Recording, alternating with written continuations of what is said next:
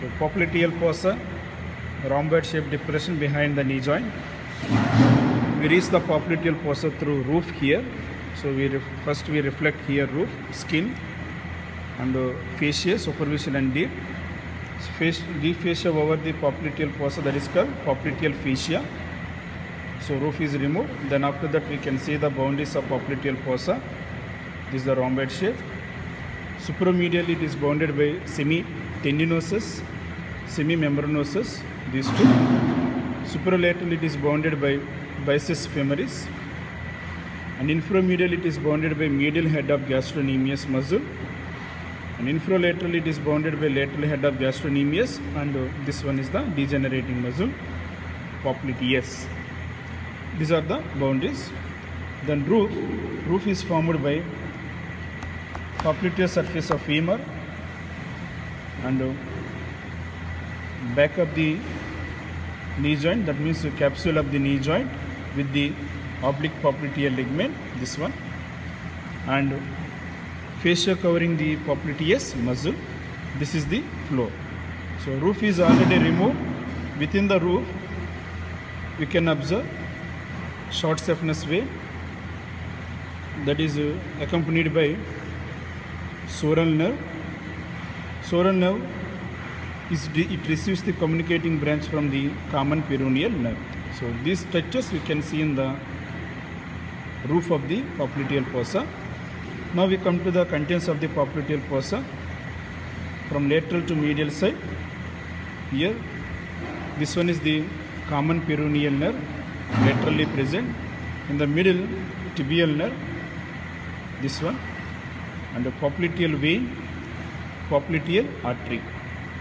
And common peroneal nerve, it gives lateral cutaneous nerve of calf and supralateral and infralateral genicular nerves. And tibial nerve, it gives muscular, genicular and cutaneous branches. Cutaneous branch sural nerve.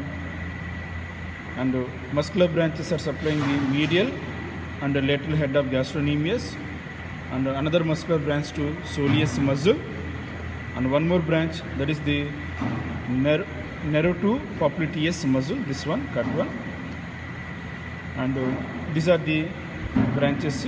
And uh, remaining are the genicular branches supromedial inframedial and medigenicular. These are the three genicular branches from the tibial nerve.